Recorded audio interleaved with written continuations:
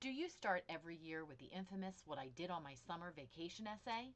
What if you asked your students to bring in pictures about their vacation instead? Once you opened AutoCollage, the next thing to do is find your pictures. Go over to the image browser and select the folder where you saved your pictures. And then it will load them onto your screen.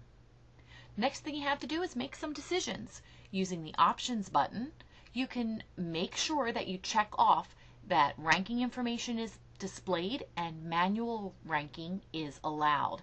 That will allow you to click on any of the pictures and determine where you want them ranked. So we'll make this one our top rank, we'll make this one our second ranked, and we'll say we really like this picture so go ahead and prefer it and make sure you prefer this one as well.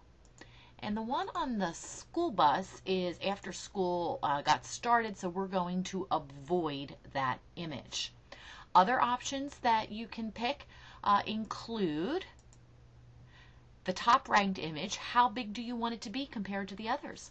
The second ranked image, how big it should it be? And what kind of overlap would you like there to be?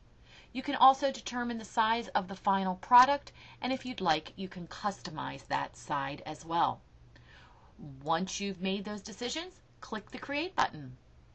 Depending upon the options that you've selected and how many pictures are in your folder, it may take a moment or two to create the collage.